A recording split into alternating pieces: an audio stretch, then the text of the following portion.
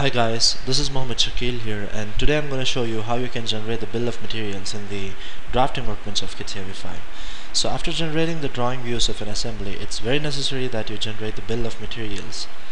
So the bill of materials is a table that provides you with the information related to the number of components in an assembly, their name, quantity and so on. So you can add the bill of materials to the drawing to display the part list of the components used in the assembly so it's basically on the drafting workbench. So let me just open up the drafting workbench here.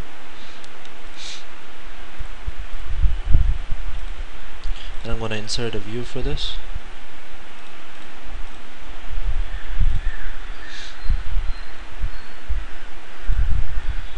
So you have the view being inserted.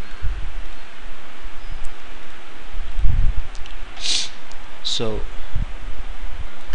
the bill of materials is placed on the drawing sheet and it's parametric in nature. So that is, if you add or delete a part from the assembly, the change will be reflected in the bill of materials on the drawing.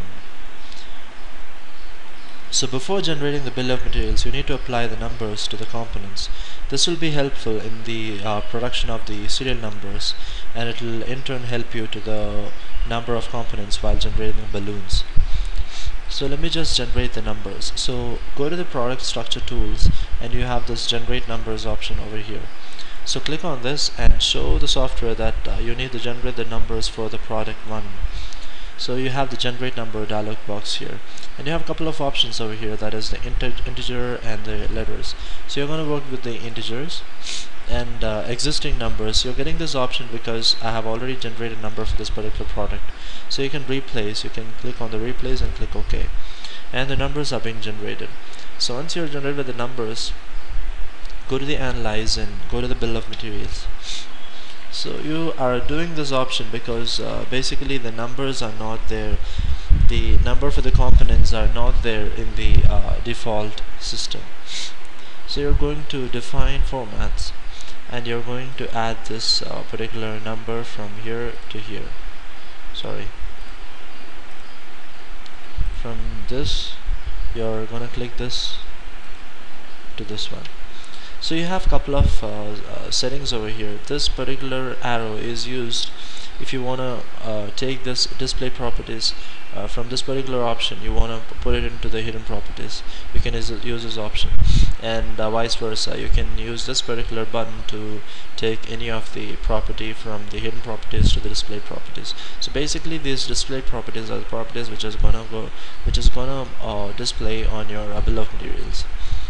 And uh, you have a couple of options over here. And another option is uh, if you want to place one, of these option above you can use this and you can place it above so how it is done take the revision and just put it above the quantity. That's how it works. And you have the recapitulation option and uh, all the system is the same uh, which I have explained in the bill of materials.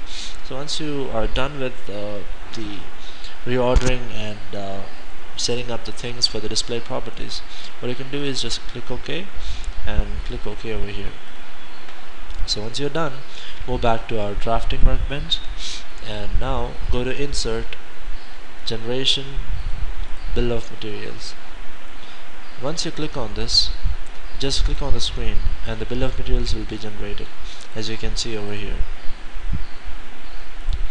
So if you zoom in and if you see this you can see that each body see the body over here is the first one and uh, this is serial number and you have the part number have the name and the quantity of body being used. So you can see the valve two valves are being used three pins and split pins three.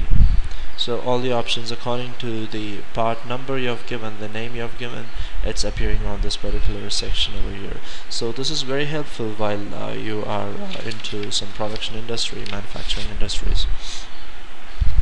So that's how you can uh, work with the bill of materials. So I hope uh, this uh, video is going to be helpful for your uh, drafting workbench projects. So keep watching subscribe me like my videos and uh, give me suggestions ask me doubts. Thank you so much for watching